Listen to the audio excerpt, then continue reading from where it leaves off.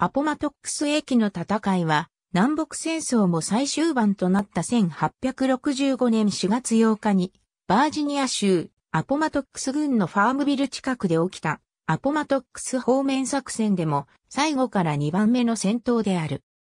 北軍は、ジョージ・アームストロング・カスター准将が指揮する、騎兵師団、南軍は、リューベン・リンゼー・ウォーカー准将が指揮する北、バージニア軍砲兵隊に下馬した騎兵とマスケット銃で武装した砲兵、さらにはいくらかの落伍兵の支援がある部隊が戦った。1865年4月1日からの2日間で、ファイブフォークスの戦い、第3次、ピーターズバーグの戦い、サザランド駅の戦いが続いた後で、ロバート・イー・リー将軍の指揮する南軍北バージニア軍は長期にわたって守っていたピーターズバーグから撤退した。北軍はこれを時には並行し、時には後を追う形で西に向かって密に追撃した。南軍は物資や食料が不足し始めており、特に4月6日に起きたセーラーズクリークの戦いの前後で脱走、落語及び戦闘そのもので多くの戦力を失っていった。4月7日のカンバーランド境界の戦いの後、リー軍は3夜連続で行軍を続け、北軍より少しでも前に出ようとしていた。フィリップ・シェリダン少将の指揮する北軍騎兵軍団がアポマトックス駅で南軍の主張隊を捕獲するために4月8日にチョーク約30マイルを馬で走り南軍より前に出てその退路を塞いだ。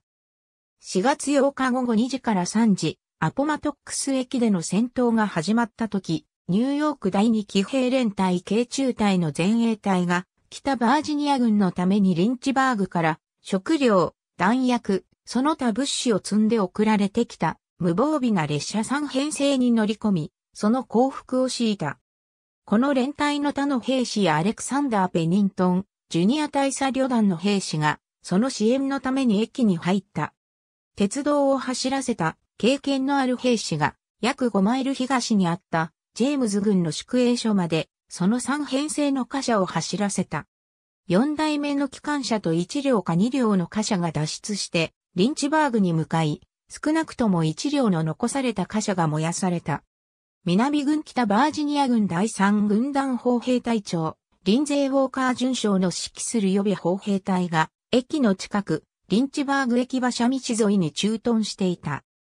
この砲兵隊をマーティン・ゲイリー准将の指揮する約500名の騎兵が護衛し、さらにクリスピン・ディッケンソン隊員のリングゴールド大隊とデイビッド・ウォーカー隊員のオティ大隊の砲兵がマスケット銃で再装備して支援し、リングゴールド大隊の W カイ・ロビンソン中尉が付近で集めた落語兵もいくら書いた。ウォーカー准将は駅に北軍がいることを知るとすぐに駅に向かっての砲撃を始めた。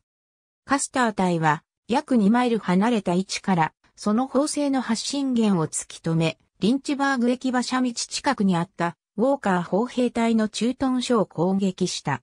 ウォーカー隊は約25門の大砲を半円状に並べて事態を守り、さらに35ないし73門の大砲を予備に置いて、そこに集中していた。北軍騎兵隊は補給列車を捕獲した後で南軍の砲兵大隊とそれを支援する下馬した騎兵、武装した砲兵と公兵、さらに不評の落語兵の集団を攻撃した。北軍騎兵隊は暗闇が近づく中で何度か突撃を行っては失敗した後に南軍が交代を始めた時にその防衛線を破り捕まえられる限りの大砲や荷車を捕獲した。この突破が成功した後、カスター隊は逃げる南軍を追撃し、リンチバーグ駅馬車道伝いに走りながらの戦闘となり、その道路で北軍は重要な地方を確保できた。シェリダンは戦闘が一段落した後に、カスター隊の疲れた兵士たちを補助するために、ジョージ・クルク少将の師団を送った。シェリダンは北軍総司令官ユリシーズ・グラント中将に宛てて、この駅での襲撃と砲兵隊駐屯所で戦闘の良好な結果を知らせた。北軍は不評部隊の支援があれば、翌朝にも南軍を包囲し潰すことができるという意見を表明していた。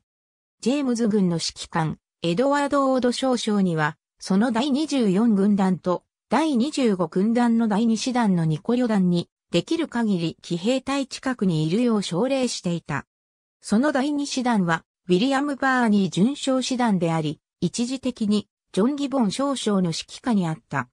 チャールズ・グリフィン準将の第5軍団には、オードの軍隊のすぐ後ろで移動して、密に配置しておくように命令し、南軍が翌朝逃げ出せなくなるとしていた。1865年3月28日から29日の夜に始まった北軍の攻勢により、ルイス農園の戦い、ホワイトオーク道路の戦い、ディンウィディコートハウスの戦いと続き、4月1日のファイブフォークスの戦いと4月2日の第3次ピーターズバーグの戦いによって、グラントの北軍はついにピーターズバーグの防衛線を突破した。同じく4月2日午後に起きたサザランド駅の戦いで、北軍のネルソン・マイルズ准将の指揮する師団がサウスサイド鉄道の最後の防衛線を突破し、南軍の供給線と退路も遮断した。リー将軍の北バージニア軍は4月2日から3日にかけての夜中にピーターズバーグとリッチモンド領主から脱出し、ダンビルへの行軍を開始した。その先は、ノースカロライナ州で、ウィリアム・シャーマン少将の指揮する北軍の進行を遅らせようとしていたジョセフ・ジョンストン将軍の軍隊と合流することが期待されていた。北バージニア軍の多く、地元防衛部隊と水兵の一個大隊、さらにジェファーソン・デイビス大統領とその閣僚たちは、4月3日に北軍がピーターズバーグとリッチモンド領市に入ってくる前に、領市から脱出できていた。南軍はその後衛部隊がグレッグ・トリデとウィットワーストリデ、さらにマホーントリデで北軍に対して抵抗して、その歩みを遅らせ、さらにサザランド駅の戦いでも懸命の遅延工作を行ったので、南軍は北軍の追撃部隊に先立って良いスタートを切れていた。アポマトックス方面作戦におけるリー軍の退却路、1865年4月2日から9日、リー軍の大半はピーターズバーグとリッチモンドを後にして、北軍に対して実質的に1日分の工程を先行していたが、フィリップ・シェリダン少将の騎兵と不評軍団の前衛部隊は、リー軍を北に置いて南に並行して走るルートで追跡できていた。北軍騎兵隊は南軍がピーターズバーグを出てから間もない時から嫌がらせを行い、小競り合いを挑んでいた。4月3日、カスター准将の指揮する北軍騎兵隊の前衛部隊がナモザイン境界の戦いで南軍騎兵隊の後衛部隊と戦った。4月4日、両軍はビーバーポンドクリークで小競り合いを行った。さらにアメリアコートハウスでも小競り合いが起こった。一方、シェリダン軍は、鉄道の重要な結節点であるジーターズビルとバークビルジャンクションを占領した。リー将軍は、当初、ピーターズバーグとリッチモンドを離れた時の4つの部隊が、リッチモンドの南西39マイルにあるアメリアコートハウスに集結して物資補給を行う作戦だった。リーの軍隊の兵士はわずか1日分の食料を持っただけで、ピーターズバーグとリッチモンドを離れていた。アメリアコートハウスに来て、軍隊と落ち合うよう命令していた食料の市長隊が到着するのを期待していた。4月4日に、そこに到着した時に、市長隊に軍需物資は積まれていたが、食料はないことが分かった。リーは1日遅らせて地域に徴発部隊を派遣したが、全部隊がアメリアコートハウスに到着したのは翌朝になっていたので、軍の一部を背後に残して移動することはできなかった。1865年4月5日朝、シェリダンはジョージ・クルック少将の師団からヘンリー・イー・デイビース・ジュニア准将の旅団をアメリア・スプリングスから北に約5マイルのペインビルあるいはペインの交差点に近いアメリアコートハウスの向こうまで南軍の動きを偵察するよう送り出した。デイビースはペインビルの約4マイル東で市長隊を発見して攻撃した。その市長隊はリー軍の物資を積んでリッチモンドを出たものであり、食料、弾薬の他に作戦本部の荷物も運んでおり、マーティン・ゲイリー准将の騎兵旅団が護衛していた。これと、ほぼ同時に、デイビースはアメリアコートハウスから過剰な大砲を積んでくる別の荷車隊が南から近づいてくるのに出会った。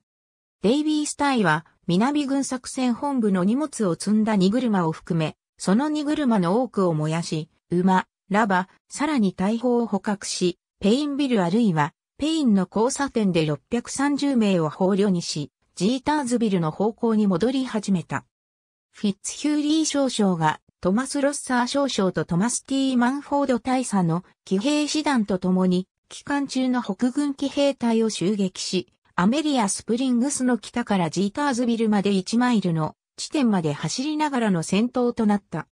アメリア・スプリングスまで着くと、クルック師団の J. アービン・グレッグ大佐と、チャールズ・ H・ スミス大佐の指揮する他の旅団が、援軍に駆けつけ、デイビース隊はその捕虜、捕獲した大砲や動物を連れたまま、ジーターズビルに戻ることができた。リーは、ジェームズ・ロングストリート中将の第一軍団を先導として午後1時にジーターズビルに向けた軍の移動を始め、そのダンビルに向けたルートが動きの速い北軍の騎兵部隊によって遮られているのが分かった。リーは大勢の北軍不評部隊が到着する前にその道を切り開いて進めるだけ早く進行できないと判断した。4月5日夜、北バージニア軍は、ロングストリートの軍団を再度先導として、さらなる物資を受け取ることが期待される、ライス駅に向かった。南軍主張隊の長く、ゆるりとした動き、雨で濡れた状態、道が限られていた条件のために、リーの軍団は長い列をなして進んだ。4月6日朝、ロングストリートの軍団がライス駅に到着し、そこでリー将軍とフィッツヒューリー少将の騎兵隊と合流した。そこに到着した列車から物資を補給し、他の部隊の到着を待った。その日遅くに北軍が接近し、残りの食料や物資を積んだ列車はさらに西にあるファームビルへ送られた。4月5日夜、バークビルあるいはバークのジャンクションで、グラント中将は、オード少将にファームビルから東に約4マイルのアポマトックス側にかかるサウスサイド鉄道のハイブリッジとその下の荷車洋橋、さらにはファームビルにある鉄道と荷車洋橋を破壊するよう命じた。その目的はリー軍のダンビルあるいはリンチバーグに向けた動きを阻害し、川の南岸に閉じ込めてしまうことだった。4月6日夜明け前、オードはフランシス・ウォシュバーン大佐の指揮するマサチューセッツ第4志願騎兵連隊からの80名で構成される本部騎兵隊と参謀のセオドアリード大佐の全体指揮下にある小さな不評日個連隊を送り、橋が防衛されていなければ、それを燃やすよう命じた。オードは後に、リー軍の少なくとも一部が、ハイブリッジに近いライス駅にいることを知ると、リードがその任務を続けると、かなり大きな部隊と遭遇することになると警告しようとしたが、成功しなかった。ロングストリートはハイブリッジを救うために大部隊を派遣しなかった。ハイブリッジで衝突した両軍からどちらも交換が戦死あるいは負傷するという激戦が起きた後、南軍が橋を救い、北軍の残った部隊全員を捕獲した。グラントとシェリダンがリー軍は西に向かって動いているという見方をしていたにもかかわらず、4月6日朝、ポトマック軍指揮官、ジョージ・ミード少将は、一夜明けても、リー軍が北東のアメリアコートハウスに残っているものと考え、南軍の行く手を遮るために、そこに3個軍団を派遣した。北軍アンドリュー・エイ・ハンフリーズ少将が指揮する第二軍団のガーショムモット準将の師団がアメリアコートハウスの西に動いている南軍の後方についた。ネルソン・マイルズ準将の師団が大砲数門を持ち出して視野から遠ざかっていく南軍に向けて発砲した。ハンフリーズの軍団はその後セーラーズクリークの戦いの一部となる3つの戦闘の一つで14マイルに渡ってジョン・ B・ ゴードン少将の第二軍団と走りながらの戦闘を行った。夜が近づくと、ハンフリーズの軍団が多くの荷車を破壊し、連隊機13本、大砲3門を捕獲し、1700名を捕虜に取った。ゴードンの隊列を乱した部隊の残存兵は、ハイブリッジに向かった。一方、南軍リチャード・ H・ アンダーソン中将の軍団は、道路が大世紀とセーラーズクリークの2方向に分かれている、ジェイホルトの家屋近くで、北軍ジョージ・クルック少将の騎兵師団による攻撃を撃退した。クルックの師団は、ウェズリー・メリット准将の指揮下にあった、ジョージ・アームストロング・カスター准将と、トマス・デビン准将の2個師団の援軍を受け、再度攻撃をかけたが、リチャード・イーウェル中将の軍団の一部から支援を。受けていたアンダーソン隊に再度追い返された。北軍騎兵隊の大半は南軍が行軍する線と並行に動いていた。カスター師団が南軍ロングストリート隊が遅い荷車隊の前に移動してアンダーソン隊との間に隙間が生じたのを見つけ、道路を塞いで大量の荷車を破壊し、大砲12門を捕獲した。北軍トマス・デビン准将の騎兵師団に属するピーター・スタック大佐の旅団が、ホレー・ショライト少将の第6軍団と合流して、イーウェルの立ち往生していた師団を攻撃した。北軍は、アンダーソンとイーウェルの軍団に追いついた。南軍の両部隊は、大砲がなくなっており、セーラーズクリークの近くで、ほとんど背中を合わせる形で陣取った。イーウェルの軍団の大半が降伏し、その時点で3400名いたとされる軍団の約250名を除いて捕虜となった。アンダーソン隊も6300名のうち約2600名を失った。ロバート・イー・リーの息子であるジョージ・ワシントン・カスティス、リー少将やイー・ウェル中将など8人の将軍も捕虜になった。4月7日の日中、オード少将はライス駅に移動し、ロングストリート中将の残壕に入った部隊と、来世紀の戦いと呼ばれる小さな戦闘を行ったオード軍の損失は66名だった。暗闇が近づいた時に攻撃中止を宣言したが、この時南軍の全軍が完全にいるのではないかと疑り、援軍を待つべきだと考えた。ロングストリートの軍団とフィッツヒューリー少将の騎兵隊がその夜の間にファームビルに向かって移動した。オードが夜の間に南軍が来世紀を放棄したことを知ると、ファームビルに向かって追跡した。シェリダンもファームビルにクルックの師団を派遣した。南軍ロングストリート軍団、ウィリアム魔法音少将の師団が夜になった頃に、セーラーズクリークの近くに陣取っており、そこでの戦闘の落語兵の交代を援護していた。4月7日朝、ハンフリーズの第二軍団がセーラーズクリークの戦場を後にして、魔法の師団を含め逃亡する南軍が、荷車要橋を破壊する前にハイブリッジに到着するように移動した。ハンフリーズ配下の師団が、ファームビルへ向かう別の道で、魔法ンとゴードンの部隊を追跡した。フランシス・シーバーロー准将の師団が、ゴードンの市長隊の一部を遮断し、多くの荷車を破壊したが、トマス・エスミス准将が致命傷を負い、そのために部隊がひるんで、北軍の攻撃を一時的に止めさせた。ウィリアム・エ・オルムステッド大佐の旅団が、スミス旅団支援のために移動したが、スミス部隊が指揮官を失ったために動きを躊躇している間に、南軍が孤立した集団を攻撃した時に、スミス隊の部隊兵約100名が捕まった。ロングストリート軍団はファームビルで食料を受け取った後、アポマトックス川を北に渡った。この時、リー将軍が命令していたように、ファームビルの橋を破壊したが、南軍の騎兵と歩兵の旅団は渡河のために浅瀬を探すことになった。食料は十分に配布されなかったが、南軍の列車は捕獲や破壊を免れるためにパンプリン駅に向けて移動し、残った物資は翌日パンプリンを通ったクルックの騎兵隊に破壊された。クルックの騎兵師団と第6軍団がファームビルを占領し、ロングストリートの残した兵士を捕まえた。川の水かさが高く、渡る手段がなかったために、クルックの騎兵師団はその日の午後に、近くの浅瀬で川を渡った唯一の北軍部隊となった。4月7日午後、マホーンとゴードンの部隊がカンバーランド境界の高台で残壕に入り、間もなく、それに、南軍の残り部隊も加わった。ハンフリーズの第二軍団が南軍の前線に接近した時に砲撃を受けながら攻撃を始めてカンバーランド境界の戦いとなった。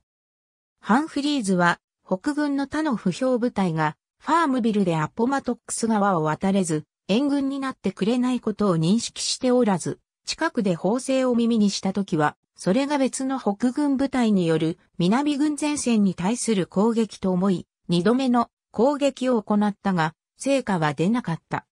ハンフリーズが聞いた戦闘の音は、カンバーランド境界の戦いの一部ではなく、ファームビルの戦いと呼ばれる戦闘のものであり、クルックの騎兵師団と南軍の西に向かう市長隊を護衛する騎兵隊が衝突したものだった。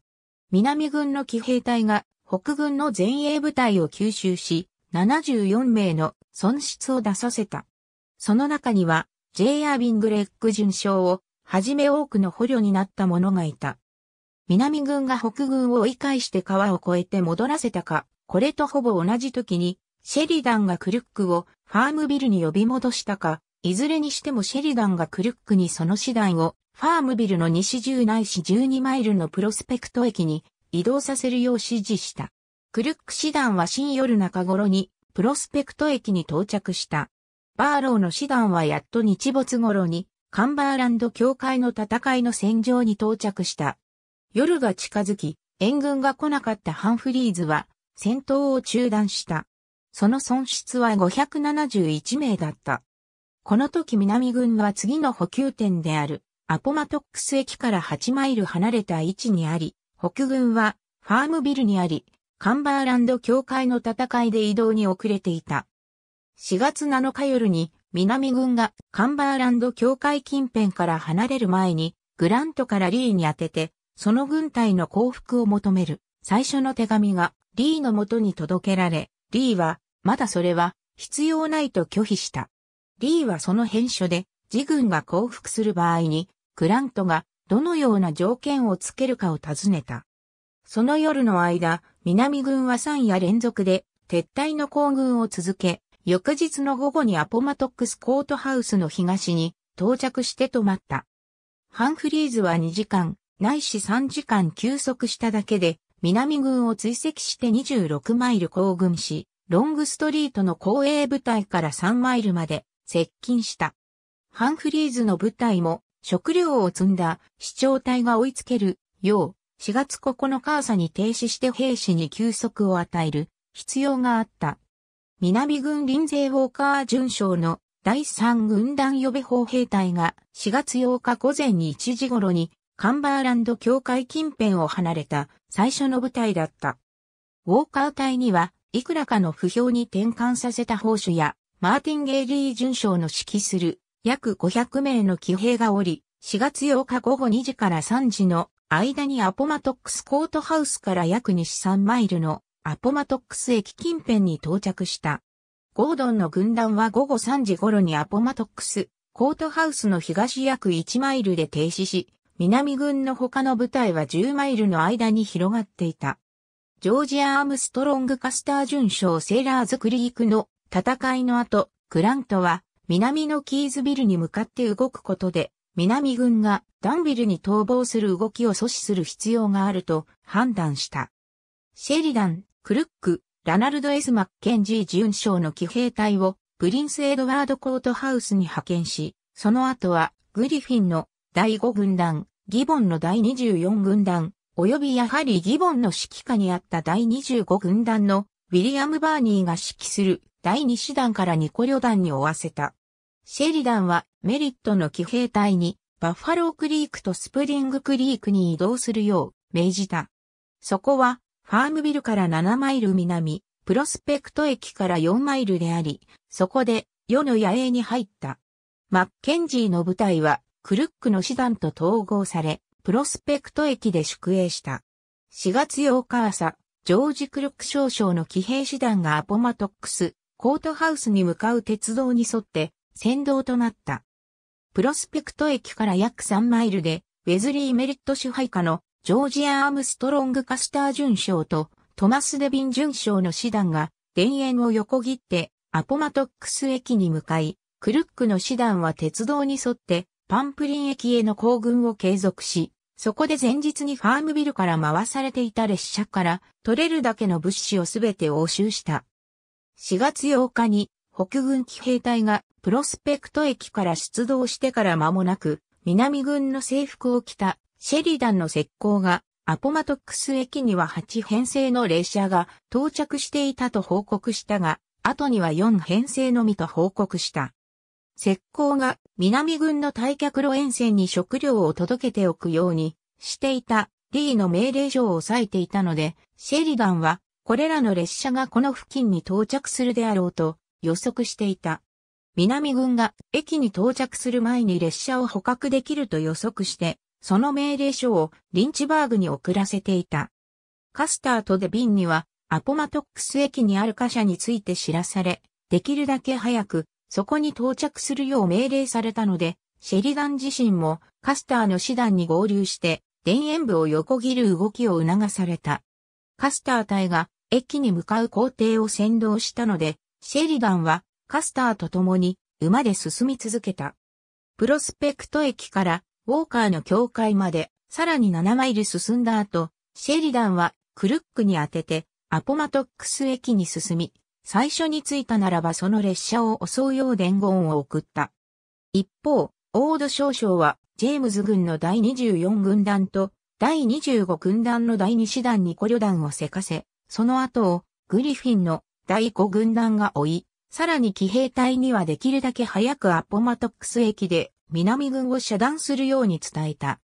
南軍 EP アレクサンダー准将が、カンバーランド境界で、リー将軍に伝えたように、アポマトックス川南岸の北軍は、アポマトックス駅まで短いルートで行くことができた。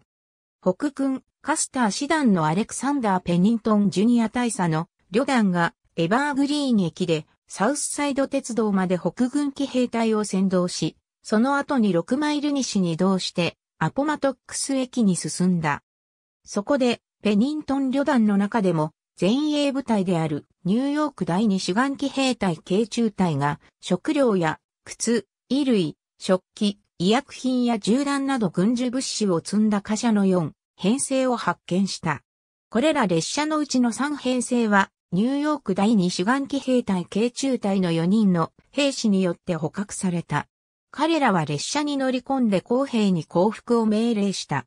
南軍 TMR タルコット大佐の公兵数人がこの駅の近くにいる数少ない兵士だったので、彼らは降伏した。ニューヨーク第二主眼機兵隊を指揮していたアランソン、マーヴィン・ランドル大佐が、この戦闘に関する証言の中で、貨車の一部は積み荷がなく、カスターがランドルに列車の捕獲を命じた時には、逃げていく準備をしていたと言っている。残り1編成の機関車1両と、貨車1両、ないし2両がリンチバーグ方向に逃亡し、その後、カスター隊が線路を剥がしてそれ以上の逃亡を阻止した。残された貨車や、その編成が燃やされた。ランドル隊が他の3編成の列車の逃亡を阻止した後、白人も黒人も捕虜を集めた。彼らは南軍の兵隊部の者たちだった。ペニントン旅団の下馬した兵士が駅と周辺を支配した。北軍騎兵が列車を捕獲してから間もなく、南軍砲兵隊が駅に向かって砲撃を始めた。ランドル大佐は大砲のあるパークと駅の間にある深い森を通して砲撃する必要があったために、その南軍の砲撃でもほとんど被害は出なかったと報告した。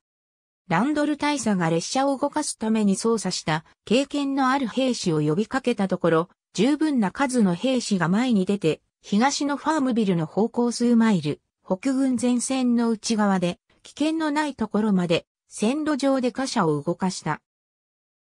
志願兵のうちの少なくとも2名は、ヘンリー・ケープハート大佐旅団のウェストバージニア第2騎兵連隊から出ていた。この列車と駅を標的にしていた南軍の砲台は、後に北軍の騎兵隊が近くにいた南軍の荷車と大砲のパークを襲撃した時に占領された。北軍騎兵隊が駅を占領してから間もなく、ゲイリーの騎兵分遣隊が鉄道に到着したが、この部隊はウォーカーの陣地の方向に押し返された。ペニントン指揮下のニューヨーク第二志願機兵連隊には、間もなく、駅の防衛のために、ニュージャージー第三志願機兵連隊が加わった。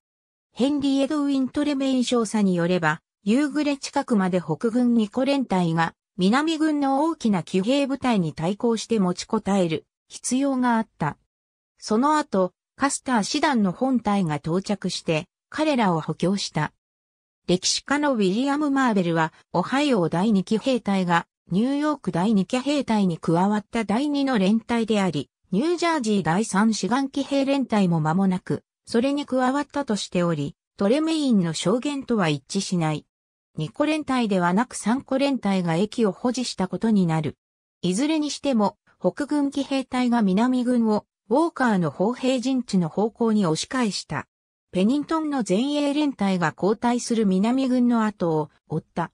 南軍は日没が近づいた時にリンチバーグとアポマトックスコートハウスを結ぶリンチバーグ駅馬車道の方向に移動した。リンチバーグ駅馬車道は鉄道駅の北約2マイルにあり、アポマトックスコートハウスとリンチバーグをつなぐ主要道なので、リー軍には都合が良かった。アポマトックス駅の近く、リンチバーグ道路沿いに、南軍は病院車、大集団の荷車、及び約100両の大砲を駐機していた。大半は武装した砲兵である。小さな不評部隊とマーティン・ゲイリー准将の指揮する500名の騎兵分検隊がこの荷車パークを護衛していた。午後4時頃、アポマトックス駅が攻撃されている音が、ウォーカーに北軍騎兵隊の接近してくる警鐘となり、マーティン・ゲイリーの下馬した騎兵をその側面に、武装した砲兵を狙撃兵としてその正面に配置し、駅に向かった高台の上に約2ダースの大砲を円弧状に並べた。南軍の大砲がある場所は、北軍騎兵隊が活動しなければならない地域であり、荷車道路が中を通り、木や下やぶに覆われていた。砲兵にとっても騎兵にとっても、特に暗くなってからは、戦うに向いていない場所だった。南軍の砲兵隊は守るために焦って事態に砲弾を撃ち込んで、数人を殺しあるいは傷つけてから誤りに気づいた。北軍が南軍の位置から射程範囲に入ってくると、間に合わせの三兵が発砲した。それでも、北軍兵は前進して、約400名の兵士によるあまり統率の取れていない攻撃を南軍砲兵陣地に対して行い、撃退された。カスター配下でペニントン大佐の第一旅団全軍が大集団の三兵の背後を進み、その前衛連隊が、やはり統率の取れていない攻撃を始めた。この部隊も南軍三兵と砲兵によって追い返された。カスターは、この失敗にもめげずに、南軍砲兵隊を捕まえ、リンチバーグ道路の陣地を確保する決心をした。ヘンリー・ケープハートの第三旅団がペニントン隊に続いて戦場に進んだ後、カスターは自隊全軍を南軍の陣地に向けて送った。南軍砲兵隊の使ったキャニスター弾によって50名近い北軍病が倒された。ウィリアム・ウェルズ大佐の第二旅団が到着した時、カスターは暗闇が訪れていて、深い森が南軍陣地を遮蔽していても攻撃を継続した。ウェルズの旅団を加えても、北軍の攻撃は失敗した。歴史家のウィリアム・マーベルは、ウォーカー隊が強力に長時間陣地を保持したのは、ウォーカー隊が弾薬を多く保持していたことに加え、ゲイリーの部隊と TMR タルコットの武装した公兵の支援があったことが要因になったとしている。カスターは続いて自ら全軍で攻撃を率いたが、突破は果たせなかった。午後9時頃、満月の明るさの下で、カスターの全師団が再度攻撃し、ついに南軍の前線を破った。南軍は交代をはじめ、使っていた大砲、弾薬箱、荷車の多くを放棄したので、カスター隊の兵士がそれらを確保した。ウォーカーの大砲や兵士が次第に数を減らし、グレー隊やタルコット隊が交代したことで、ウォーカーの防衛線が弱り、カスター隊の最後の突撃で崩壊点に達した。この場所で南軍がリンチバーグ駅馬車道から交代したことで、北軍騎兵隊は道の一部を占領し、南軍がリンチバーグに逃げるルートを塞いだ。アポマトックス側はこの付近で渡ることができず、そのために南軍は北に逃げられなかった。できたとしても、あまり利点のない選択肢ではあった。北軍の部隊が北バージニア軍の他の方向への動きを塞いだ。歴史家のクリス・カルキンスによれば、カスター隊の損失は戦死5名、負傷40名、不明3名だったが、負傷者の大半は重傷だった。トレメインが報告するところでは、騎兵隊にいた多くの経験を積んだ下界がこれほど短い戦闘で異常に多い怪我人を治療した経験がなかった。負傷者は主に大砲によるものであり、重傷だった。多くはめちゃくちゃになっていたと言っていたとしている。ジェイン・ブレアは、カスター隊の損失を、戦死32名、負傷86名、合計118名としている。南軍は、その防衛線が破られた時にリンチバーグに至る道路を逃亡したものもあれば、またアポマトックスコートハウスに至る道路を撤退した者もいた。交代する砲兵が立ち止まって、北軍の騎兵隊に対して両方向から砲撃したとき、カスター隊の騎兵集団が、このような南軍の抵抗を打ち破った。カスター隊は、アポマトックスコートハウスまで前進を続け、その過程で、不評部隊と遭遇した。その後カスターは敵の市長隊から捕獲した大砲や貴重品を鉄道駅の南に送っておくように命じ、一方、事態の残りの兵士には部隊が停止したところで道を塞ぐ前線を構築するよう命じた。捕獲した物資の中には24ないし30門の大砲、150ないし200両の荷車があり、その大半には手荷物が積まれていた。カスター隊はおおよそ1000名を捕虜にしており、その中には病気になって病院車に乗っていたヤングマーシャル・ムーディ准将も入っていた。一方で、ウォーカー隊は、この戦闘と撤退の間に75門の大砲を救った。デビン師団がカスター隊の支援のために戦場に来たが、深くは関わらなかった。デビン隊はカスター隊の道路沿いにいた兵士を解放し、代わってアポマトックスコートハウスとリンチバーグに面した防衛線を構築した。カスター隊はその夜の残り時間に睡眠をとる前に戦場を整理する任務に向かった。カスターはリー軍の本体の居場所を突き止めたいと考えたので、オーガスタス・ジェルート中佐の指揮するニューヨーク第15志願機兵連隊を派遣して、証言によれば、アポマトックスコートハウスに向かう道路で最後の突撃を行うか、ルートが自らの意思で先に進むこととした。ルート隊が小さな町に乗り入れた時に撤退していた砲兵、砲手、落語兵の隊列にいくらかの混乱を生じさせた。町を吸収した時にルートと少なくとももう一名の兵士が殺され、一人あるいはそれ以上の北軍兵士が負傷した。南軍のエリソン・ケーパーズ准将が表した南軍軍事史巻語によれば、ハンプトンリージョン H 中隊の兵卒、サウスカロライナ州、バンバーグのジェイコブ・デイビッド・フェルダーが、まずルートがフェルダーに発砲して、危うく当たらなかった後に、ルートに致命傷となる銃弾を放った。歴史家のウィリアム・マーベルは、ルートが数人の大胆な兵士を後ろに連れて、街を馬でかけている時に、いくらか好奇心の強い部隊をなくした落語兵が近づいてくる騎兵に発砲したと述べている。町での砲撃は、ブッシュロット・ジョンソンの師団を奮起させ、その約1000名の兵士が町に入ってきた。町の外れで、南軍病が再び伏せて待機し、できる場合は、睡眠をとった。一方、ニューヨークの騎兵隊がすでに捕虜の集団、いくらかの放棄された荷車と弾薬箱を率いて、北軍の戦線に戻った。カスターの師団は真夜中まで起きており、食料と記念品を集め、その時保持していた道路のあたりを清掃した。クルックの師団が戦闘が終わった後に戦場に到着した。後にシェリダンがクルックに一行旅団をアポマトックス、コートハウスに送って南軍を監視し、南軍が別のルートで逃げ出すのを防ぐために警報を発させるよう命じた。午後9時20分、シェリダンはグラントにその日の進行度合いについて伝言を送り、また、ジェームズ軍のエドワード・オード少将と、第5軍団のチャールズ・グリフィン准将には、アポマトックスで南軍の脱出路を塞ぐために、全勢力で前に圧力をかけるよう要請もした。不評部隊の前衛が4月9日午前2時頃にアポマトックス駅に到着したが、不評部隊の大半はその朝遅くに到着し、騎兵隊は南軍が逃げ出さないように抑えていた。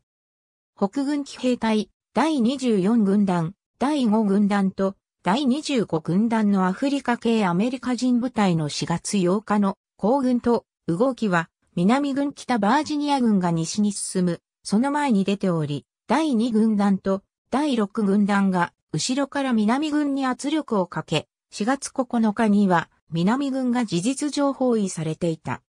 リーとその主要な部下たちは4月8日にアポマトックス駅の方向から聞こえてくる砲声が北軍騎兵隊が事態の前に出ていることを意味していると理解した。